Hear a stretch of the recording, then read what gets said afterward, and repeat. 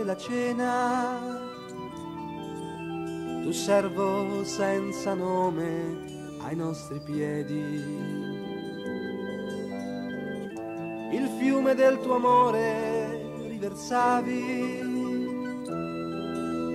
paura, male, colpa ci toglievi. Così noi rinasciamo nel perdono pace vera dentro noi. Nessuno è l'amore più grande di te.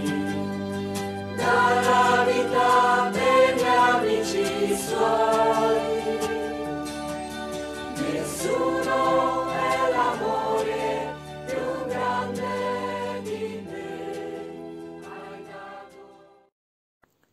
Dal Vangelo secondo Marco. In quel tempo si avvicinò a Gesù uno degli scribi e gli domandò Qual è il primo di tutti i comandamenti? Gesù rispose Il primo è Ascolta Israele, il Signore nostro Dio è l'unico Signore. Amerai il Signore tuo Dio con tutto il tuo cuore e con tutta la tua anima, con tutta la tua mente e con tutta la tua forza.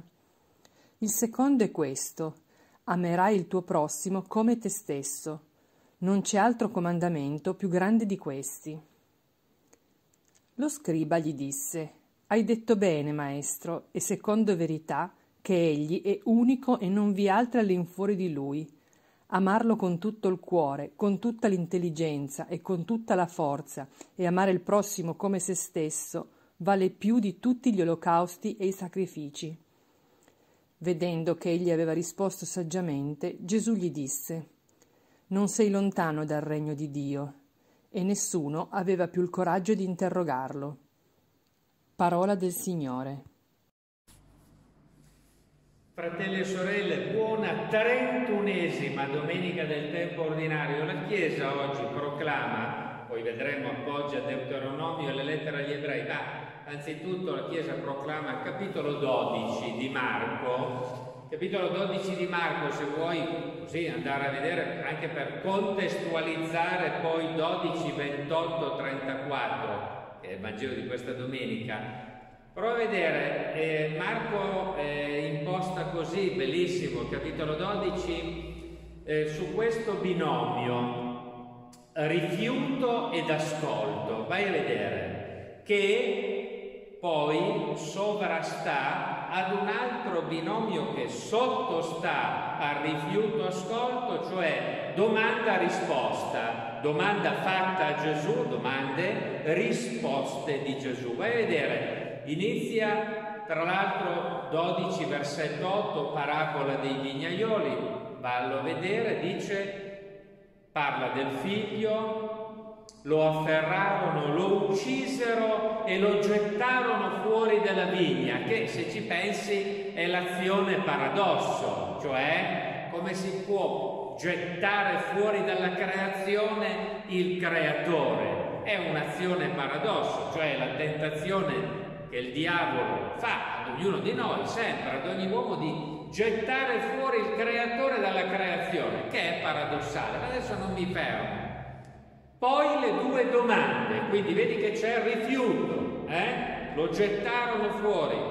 Le due domande, non ti dico nulla, valle a vedere, sono le due domande cardine, bellissimo, fatto però senza poi postura di ascolto. La prima domanda è una domanda di terra, a cui Gesù risponderà, beh questa la sai a memoria, grandissimo, date a Cesare quel che è di Cesare e a Dio quel che è di Dio. Questa è la dinamica di come vivere sulla terra. E l'altra domanda sarà la domanda di cielo, a cui Gesù risponderà in maniera grandissima dopo la resurrezione dei morti non prenderanno più moglie e marito, ma saranno come angeli nei cieli. Sai la famosa, ma come sarà di là? Vedrò mio marito, mia moglie, i nipoti.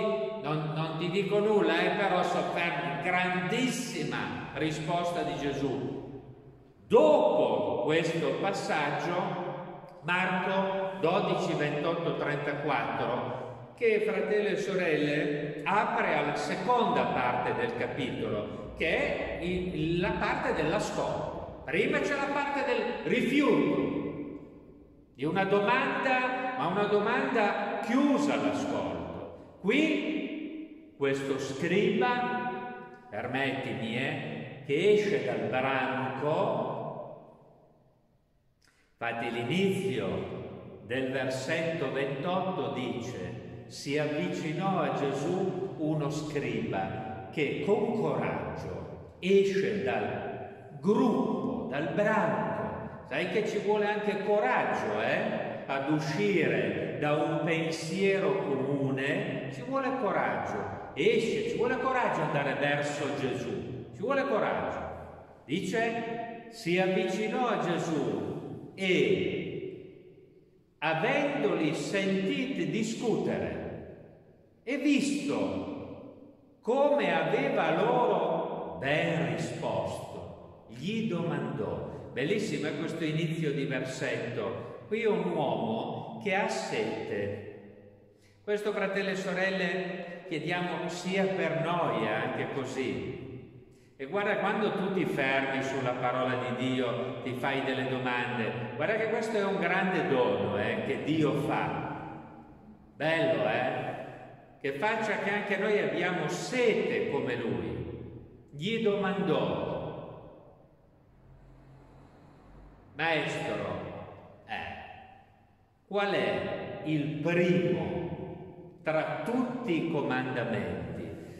Lui fa una domanda, se ci pensi, sulla priorità, il primo tra tutti i comandamenti. E a questa domanda eh, segue quello che vai a vedere. Possiamo definire, fratelli e sorelle, il dialogo perfetto. Questo che oggi proclama la Chiesa, è il dialogo perfetto tra Dio e l'uomo. Dio che dona una verità, l'uomo aperto all'ascolto. Questo è il dialogo perfetto. Se, non so, capita anche in te di dire o farti questa domanda, ma io prego, ecco, ma poi tante volte parlo anche con Dio, parlo anche con Dio. Benissimo, eh? Benissimo, però fratelli e sorelle, il parlare con Dio dobbiamo sempre chiedere a Dio che si trasformi da soliloquio, cioè noi che parliamo, ma così mi ascolterà, mi ascolterà a dialogo, dialogo perfetto. Il nostro parlare con Dio, fratelli e sorelle, deve uniformarsi a questo dialogo perfetto. Qui c'hai tutto. Quando tu mi dici, ma io parlo con Dio, ma mi ascolterà, qui hai tutti gli ingredienti per un dialogo perfetto con Dio. Cioè che non scenda ad essere solo soliloquio. Attenzione, fratelli e sorelle, bellissimo, eh? Gli rispose, eh. Tra l'altro Gesù, lo percorriamo un momento, dà la risposta, perché gli ha chiesto qual è il primo. Infatti Gesù, il primo è due punti e qui da questo due punti in poi senti che è tutta la Trinità che parla. Ah. Qui è la Trinità.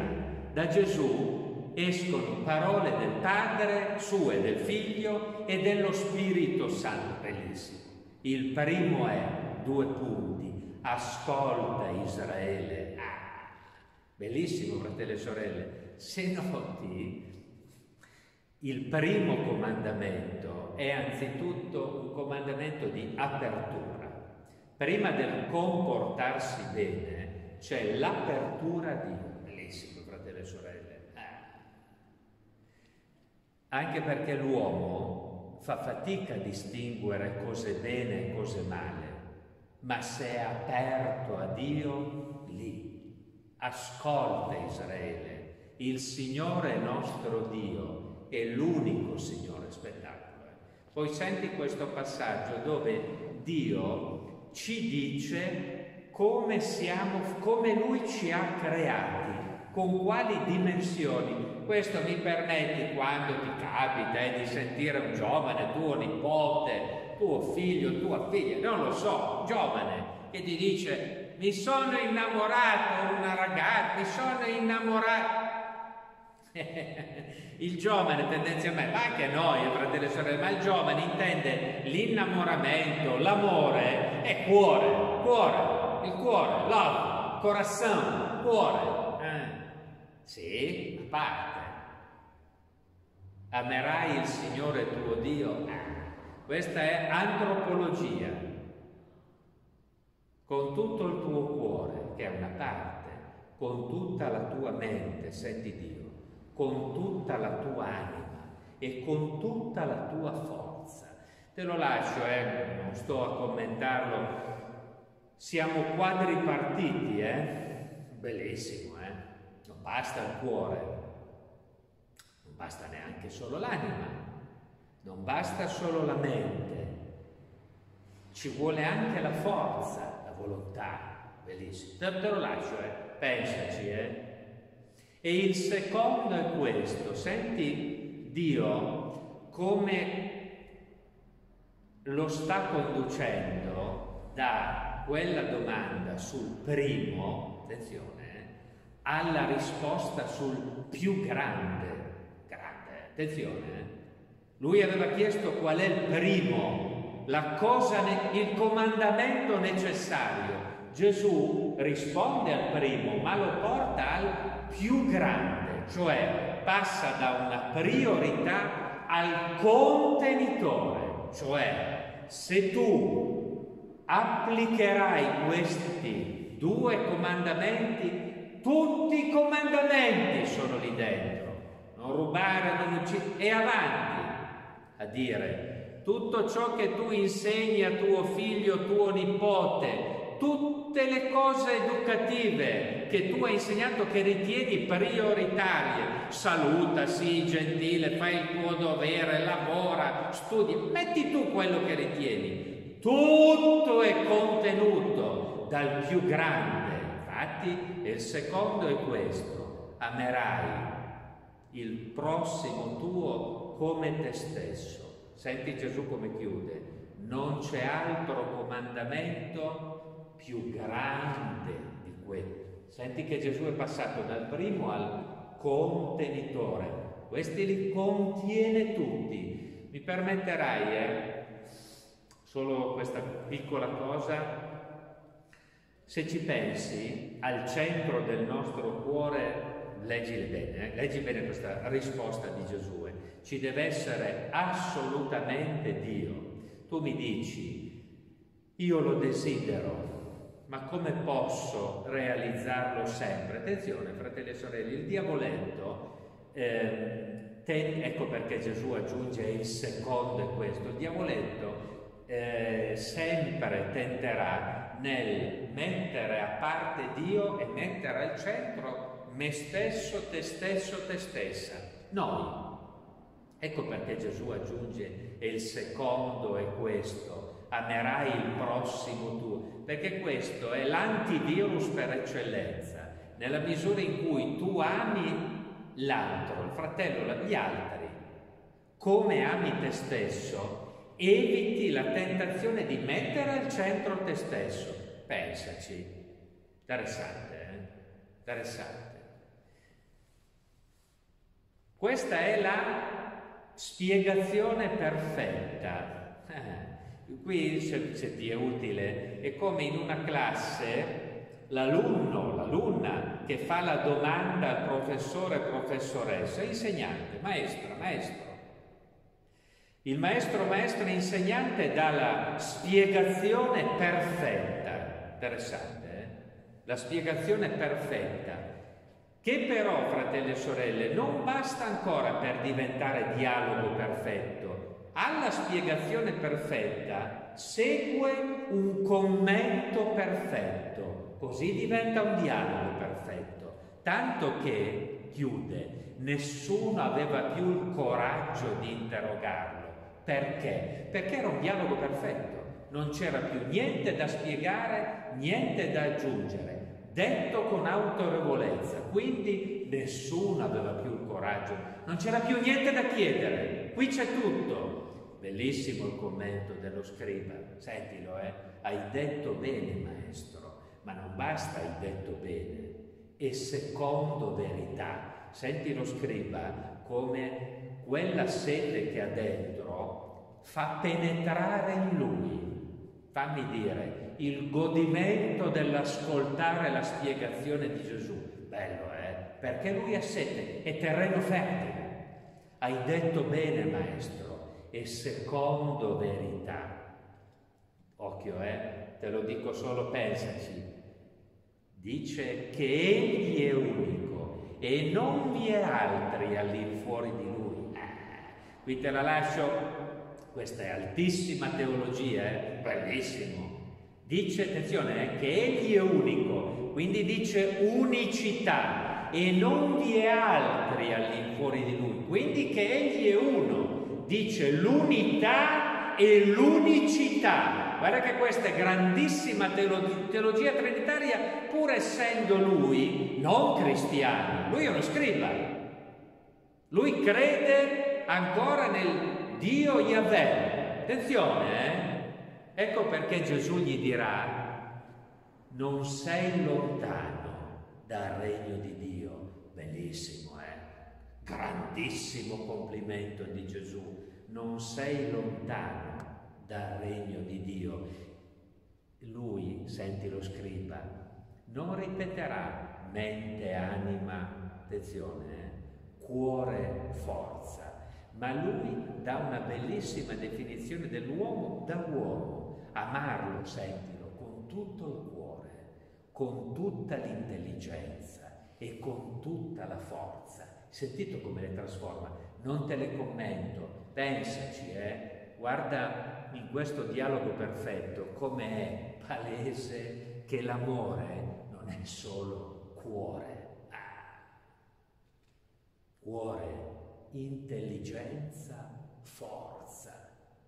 Questa è la grande differenza, dillo al giovane, tra l'innamorarsi e l'amore. Ah. Te la lascio, eh? Pensaci. E conclude lo scriba, e amare il prossimo come se stessi. Eh, senti che chiusura. Vale più di tutti gli olocausti e i sacrifici. Attenzione, eh? Non ha detto che tutta la devozione, gli olocausti, i sacrifici, le candele accese, la preghiera non vale. No, non ha detto questo. Vale più, porta a compimento tutta la preghiera, le candele accese, la devozione. Eh? non non valgono, eh? ma porta a compimento ciò. Te lo lascio, fratelli e sorelle. Questo è il dialogo perfetto, c'è tutto, eh? C'è tutto. Dà a noi una chiara, una chiara spiegazione sul rapporto tra me e Dio. Permettimi solo due appendici, Deuteronomio 6, la Chiesa appoggia Deuteronomio 6, bellissimo, eh?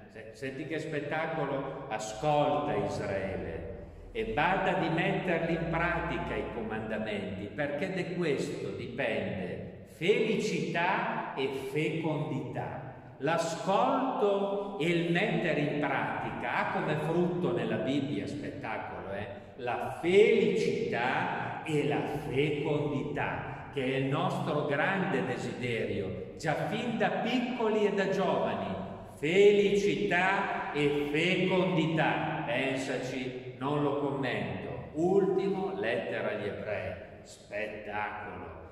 Questa è una delle più grandi definizioni di Gesù sacerdote. Senti ebrei, tale era il sommo sacerdote che ci occorreva, santo, innocente, senza macchia, santo Dio, innocente, bambino, senza macchia, puro. Fratelli e sorelle,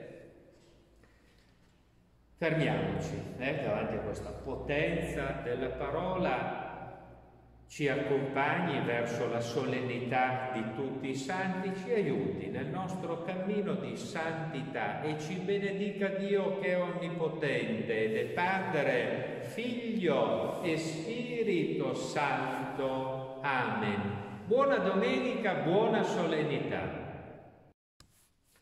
Fratelli e sorelle, avvisi, beh, ovviamente lunedì primo novembre, solennità di tutti i santi, due le sante messe in San Martino 10.30 e 17. Martedì 2 novembre, commemorazione di tutti i fedeli defunti, celebriamo in San Pietro alle ore 18 per tutti i defunti. Buona domenica! C'è il segreto della libertà, quella vera, batte dentro di te. Come risvegliarsi un mattino col sole